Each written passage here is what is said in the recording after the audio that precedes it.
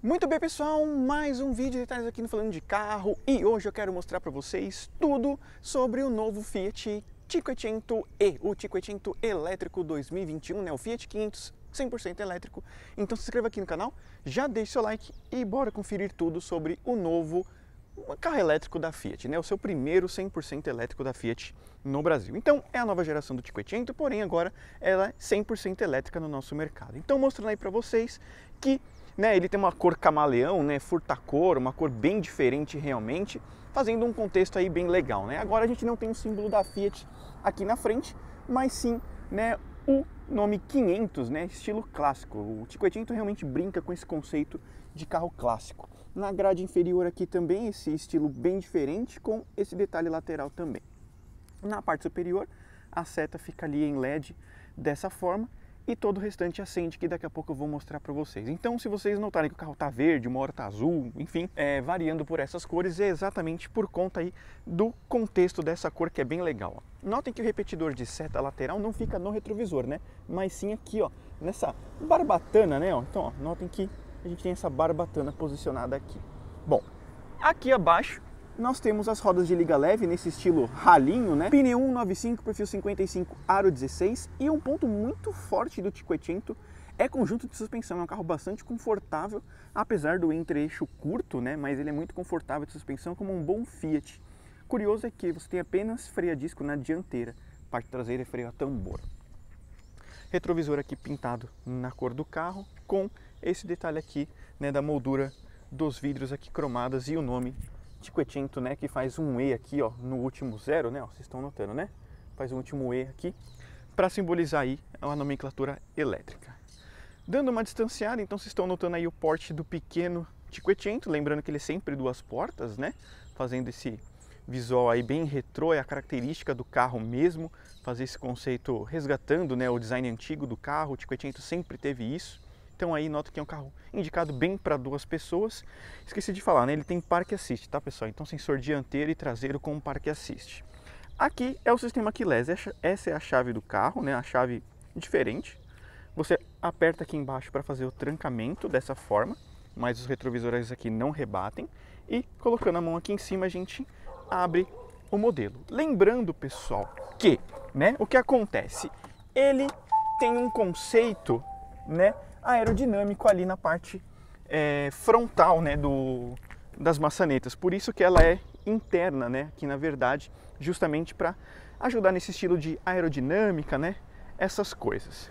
Bom, mostrando aqui o motor elétrico, né, por curiosidade para vocês. Então, ó, aqui a gente tem um conjunto 100% elétrico, são 118 cavalos de potência, né, cerca aí de 22 kg de torque máximo, sempre com câmbio automático de uma velocidade, e 0 a 100 na casa dos 9 segundos, que a gente mostra isso no nosso teste instrumentado para vocês aí conferirem se realmente faz tudo isso ou não. Lembrando que esse modelo tem baterias de 48 kW, aliás, 42 kW, o que dá uma autonomia real na faixa dos 300 km, tá pessoal? Ele faz que ele faz uma média de 7.2 km por kWh. Então isso daria uma média aí de 300 km, tá pessoal? Só para vocês terem uma ideia. Vou deixar aqui o farol baixo aceso, né? E mostrar para vocês aí como que fica o conjunto ótico do Cinquecento. Então, ó, ficando bem de frente com o carro, vocês conseguem notar aí como que fica o visual, né? Uma carinha bem invocada, né? Apesar de um estilo simpático, ele tem esse design mais invocadinho mesmo. Então, essa região aqui você tem o DRL, assim como na parte inferior também, e o farol baixo, ó, fazendo esse detalhe também. Então, notem que bem nesse perfil, ó, você percebe uma carinha até que invocada né, do Cinquecento. Então aí, ó, mostrando para vocês o conjunto ótico do subcompacto 100% elétrico, né? Então aí os detalhes para vocês do carro. Vamos chegando aqui, ó, na parte traseira, mostrando aqui a assinatura, nós temos uma nomenclatura 500 aqui e esses Czinhos, né, que fazem a nomenclatura da assinatura do Cinquecento. Mais uma vez, estacionamento traseiro, luz de neblina e ré fica na parte inferior do carro. E aqui nós temos a nomenclatura mais uma vez, né? Cinquecento, né, o 500E, que é a mesma que nós temos posicionada aqui, ó. Vocês estão notando, né? Bom, Aqui é o bocal do carregador. Então, você tem aqui uma tomada tipo 2 normal, né, posicionada aqui, e abaixo você puxa para você fazer o carregamento rápido. Então, em 50 kW você carrega em mais ou menos uma hora e meia 100%, né? Num carregador padrão de 7.4 kW, você carrega em uma noite, né? Mais ou menos aí por volta de umas 8 horas mais ou menos você carrega 100%. Abrindo o porta-malas, aqui realmente é apertado, são menos de 200 litros, então notem aqui minha mochila, por exemplo, já ocupa boa parte do espaço. E só mostrando para vocês que por conta dos pneus Ramflat você não tem step, né? Aqui fica a posição do carregador, que esse carregador padrão ele tem um lado bom e um lado muito ruim. Esse carregador padrão você consegue pôr em qualquer tomada, literalmente. Porém, o lado ruim é que ele tem uma velocidade de carga muito lenta, 1.9 kW no máximo, e é muito difícil conseguir isso. Ele vai trabalhar aí mais ou menos numa faixa de 1 kW, ou seja, demora muito para você ter uma carga completa só com esse carregador padrão, tá pessoal? Aqui o aerofólio, né, fazendo o contexto e ali, né, você tem o teto solar. Bom, mostrando aqui, o acabamento é um padrão Fiat, então ó, plástico duro aqui realmente, né, nada demais, então plástico duro, um easter egg made in Torino com um Cinquecento antigo, revestimento em couro aqui no apoio do cotovelo, vidro elétrico apenas na dianteira, né, só duas portas e retrovisor, porém não tem rebatimento. Curioso, pessoal, aqui você tem um botão de abertura da porta, mas caso não funcione, você tem uma maçaneta padrão escondida aqui embaixo, né? Então, uma curiosidade para vocês. Os bancos revestidos aí em couro, né, com a nomenclatura 500, e notem que esse é o único lugar que a gente tem a nomenclatura Fiat. No mais é tudo 500, né? Então a Fiat brincou bastante com esse conceito. Então anotem os detalhes, né, para vocês. Ajuste aqui, né, de altura tudo manual até então para ajudar a fazer preço, né? E aqui, ó, o espaço traseiro, né? Você realmente tem um espaço para duas pessoas, fica bem apertado, tá, pessoal? É, mas dá para levar duas pessoas aí, se você colocar os bancos mais para frente, dá para fazer uma viagem curta, no máximo 100 km, mais do que isso realmente fica extremamente cansativo, até porque o teto é baixo, então você tem que ficar abaixado, né, com a cabeça às vezes. Mesmo assim, você tem ali encosto de cabeça, né? Então, quatro lugares, né? Repararam, né? Não tem três assentos traseiros. Aqui já na parte dianteira, o espaço é muito bom. Você tem realmente um bom espaço para condução, o carro é bastante confortável nesse ponto, né? E então você consegue ter uma condução urbana muito prazerosa com o modelo, apenas levar a gente atrás que vai ficar um pouco mais complicado. Então bora para a parte interna para mostrar os detalhes aí para vocês. Então vamos lá, pessoal. Ó, fechando aqui, vamos só desligar o carro para vocês entenderem, né? Ó, faz esse barulhinho quando a gente desliga, depois eu vou ficar quieto nesse momento e falar para vocês. Mas ó, então vamos lá. Aqui a chave, mostrando aqui. A gente pode pôr a chave aqui ó, por enquanto, daqui a pouco eu vou mostrar alguns pontos importantes. E a partida é por botão, né? Então, ó, a gente dá a partida e ele vai fazer outro barulho, ó. Então, quando soou esse som e escreveu ready lá no painel, o carro está 100% ligado. Deixa eu só colocar aqui no modo automático, então pronto, né? Ficou bem mais claro ali para vocês enxergarem. Painel de instrumentos todo em TFT. Vocês perceberam que isso daqui lembra até o conceito da Toro, né? Principalmente esse daqui, lembra o conceito da Toro. Bom, aqui bateria, né? Porcentagem em autonomia e aqui força que você está aplicando, né? Com aceleração e o regenerativo em funcionamento. Assistente de faixa com semi-autônomo, né? Então você tem o semi-autônomo aqui, ó tem o semi-autônomo aqui, então você tem os dois a partir de 60 km por hora que ele funciona. E você tem três modos de condução, que mudam na verdade com relação à força regenerativa. Ele só tem modo normal entre esportivo, vamos dizer assim, e econômico. Então você quer no e-mode você tem o normal, aí você passa pro range. Notem que a autonomia melhora um pouquinho ali, né? Ó, tá vendo? Subiu para 213 e o Chefra é onde você realmente tem muita economia de combustível. Então notem que a autonomia subiu para 236, né, com 84% de bateria. O ar condicionado desliga, né, ventilação desliga, tudo para otimizar a bateria, né? Mas particularmente o modo normal já é o suficiente, tá, pessoal? Ele cumpre os 300 km de autonomia, né? Se você tiver uma condução tranquila, não ficar acelerando nem nada do gênero, você consegue. Isso porque o que acontece, pessoal? Notem que aqui você tem TPMS, certo? Revisão. Aqui o Drive Assist, ó, então você ajusta aqui né, dessa forma. Deixa eu só ligar o vento aqui. Aqui você tem o trip, ó, então 7.4 e aqui tá zerado, né? Mas ó, uma média de 7.4 kW, né? 7.4 km por kW, né? Eu sempre falo ao contrário, mas enfim, né? Você tem uma autonomia aí na faixa dos 300 km, certo?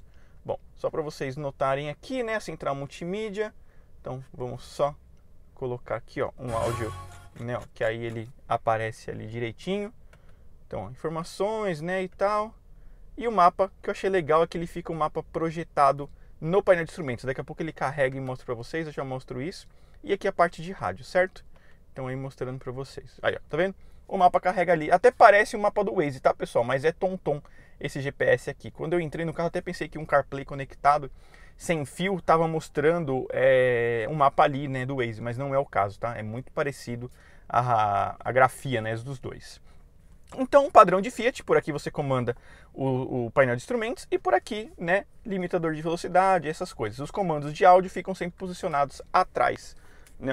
Então você tem os comandos traseiros aqui. Assistente de faixa você aperta ali, né, com luz de seta e ajuste de iluminação do farol aqui. E aqui, né, limpadores dianteiro e traseiro, certo? Ajuste de altura do faixa do farol, isso eu achei bem curioso, né? Você ajusta aqui, né, um, dois, três é, luz de neblina traseira, sensor dianteiro e traseiro. Aliás, controle, tração e estabilidade sensor dianteiro e traseiro, certo? Bom, o câmbio fica posicionado aqui, então você tem ré, né? Ó, sempre é bom você dar uma apertada boa para certificar que ele vai ligar. Notem a câmera de ré, né? Ultimamente vocês andam pedindo que a gente mostra, neutro e drive, certo? Aqui você tem um carregador sem fio e aqui, pessoal, é uma paisagem, né, de Torino aonde o carro é fabricado, né? Aí aqui seria uma sinagoga, na verdade, né, onde hoje é a prefeitura, né? E aí por conta do alto custo para fazer essa igreja, né, eles desistiram e acabaram entregando para a cidade, que a cidade transformou isso em 1800 e pouco, né, em prefeitura e até hoje está lá. Então aí, um pouquinho de história e cultura para vocês falando de carro, pessoal. Você tem aqui um carregador é, por USB, sendo esse o único com Apple CarPlay Android Auto, porque você tem outro aqui dentro que eu já vou mostrar. Puxando aqui, você tem um porta-copos, um bom lugar para você apoiar celular, por exemplo. Né? Achei um ponto interessante. Trava da porta fica posicionada aqui, saídas de ar. E o console poderia ser de material macio na parte superior, o que não acontece. Lá atrás, ó, tem a nomenclatura 500 aqui, porém, né, o console é plástico duro. Poderia ser material macio, assim como pelo menos a parte superior da porta, né? Dá um, uma impressão de mais bem acabado, vamos dizer assim. Retrovisor fotocrômico, notem que a iluminação é amarela, né? Então poderia ser em LED. E o teto solar, que você tem aí a abertura, eu achei bem rápida a máquina por sinal. Ó. Máquina de abertura funciona numa agilidade absurda. E a telinha aqui, ó, eu achei bem fina. Num dia de muito sol isso vai incomodar, viu, pessoal? Poderia ser um blackout melhor. Quebra-sol com um espelho, porém sem iluminação. E aqui nem isso possui.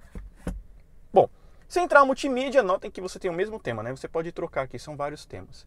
Mas tem Apple CarPlay Android Auto sem fio, dados de conforto, lembrando que é ar-condicionado digital de apenas uma zona, navegação, então aí vai carregar o um mapa também, parte de telefonia e aqui veículo você tem aí alguns ajustes também com o carro, né? Então aqui você tem né, modo da tela, enfim, né? Perfil, assistência de direção, então todos os detalhes que você pode né, ajustar do carro, tá vendo? Então aqui você tem bastante coisa, freio. Lembrando que ele tem auto hold, tá pessoal? Se você quiser, você pode deixar o auto hold ativo. Mas a partir do momento que você deixa aqui no modo de condução, é, qualquer um que seja o range, por exemplo, é, ele já vai funcionar um auto hold 100%, sabe? Então nem precisa deixar o auto hold aqui ativado. Detalhe de volume, né? Freio de mão eletrônico, que você toda vez que aperta o parque ou desliga, ele já puxa automaticamente. E, enfim, né? mais alguns detalhes. Aqui ele mostra o tempo que você levaria para fazer uma carga, né? Entre mínimo e máximo, dependendo da tensão. Carga hoje, hoje em dia, pessoal, depende muito da, da amperagem, né? Não tanto mais é, do carro em si, mas do poder de carregamento da, do, do carregador que você possui. Então aí, bom, enfim, os detalhes, né? Aqui comandos físicos de ar condicionado, que eu acho muito bom. Eu acho que tem todo carro tem que ter isso e botão de volume. Bom, o apoio de braço aqui é corrediço, então aqui você tem esse detalhe, pode puxar aqui uma abertura, Notem nosso álcool em gel lá, pessoal. Continue usando, é muito importante. E a esteirinha aqui esconde mais um apoio, né? mais um porta-objetos, que aqui você pode apoiar a chave, por exemplo. Uma tomada USB, né? aqui com uma 12 volts. E um baú mais profundo, que seria um porta-copos ou garrafa. E o carro vem com este detalhe aqui, ó. Isso daqui é uma espécie de colarzinho, né? Coisa do gênero. Isso aqui é a prova d'água é o mesmo conceito que a Jaguar, né, com aquelas pulseiras. Ou seja, você pode deixar a sua chave dentro do carro, levar isso, praticar o seu esporte, coisas do gênero, né, fazer a sua corrida, caminhada, andar de bicicleta, o que for, né? E a hora que você voltar, você destranca o carro com isso. Lembrando que isso não dá partida no carro, tá, pessoal? É só para você realmente entrar e sair, trancar e destrancar. Você não consegue usar ele como uma chave 100%. Porta-luvas com amortecedor, Aqui o detalhe é sempre na cor do carro, então se for branco é branco, se for fosco é fosco e assim por diante. E aqui você tem um detalhe cinza, isso daqui não muda. Certo, pessoal? Apesar de ser pequeno, até que tinha bastante informação, né? Para eu contar aqui para vocês. Eu vou deixar em neutro. Vamos ver se eu consigo mostrar o DRL para vocês do carro, tá bom? Deixando aqui todo certinho e vamos sair, né? Ó, tá vendo? Ele até pede para eu colocar aqui numa marcha, alguma coisa do gênero, né, avisando que o carro está solto, porque ele não faz barulho. Bom, ó, como eu falei, ah, só duas coisas, né, ó, tá vendo que ele está em neutro, né? Se eu apertar aqui, ó, e abaixar o freio de mão, eu vou tentar deixar desse ângulo para vocês verem. Ó, se eu apertar para desligar, ele põe o parque e puxa o freio de mão automaticamente, certo? Então, ó, vamos deixar aqui em neutro para ver se eu consigo mostrar para vocês o DRL. Ó, apertando, né, a gente tem a abertura da maçaneta. Então vamos lá. Vamos ver se eu consigo deixar DRL justamente para vocês entenderem. Ele puxou o freio de mão, porém ele deixou o DRL aceso. Então, ó, esse é o DRL do Fiat 500, para vocês terem uma noção aí né, do visual do DRL. Particularmente achei bem legal, pessoal, o DRL dele. Então, ó, é um carrinho que particularmente também eu gosto bastante, né? Sou suspeito para falar. Então aí, né, os detalhes e contar para vocês que, pessoal, o Fiat 500 2022, 2021 agora, o 100% elétrico, né, ele é baseado na versão Icon, né? Seria uma versão bem completa, inclusive, né, com bastante equipamento, lembrando que ele tem frenagem autônoma, enfim, tudo que tem direito também com relação a esse tipo de segurança, né, ativa, sensor de ponto cego também. Por isso ele custa cerca de 240 mil reais. Preço aí do Mini Cooper SE também elétrico, você tem Renault Zoe na faixa de 220 mil. E agora o novo Peugeot 208 100% elétrico que também gira nessa faixa de preço. A vantagem dele é a autonomia de 320 km, né? E o, o 208 também vira nessa parte aí dos seus 300 km de autonomia. Qual deles vale mais a pena, pessoal? Quero saber de vocês. Aproveite e confira o nosso teste instrumentado, onde a gente mostra tudo com relação ao Cinquecento Elétrico 2021 então se inscreva aqui no canal, deixe seu like e até o próximo vídeo aqui do Falando de Carro.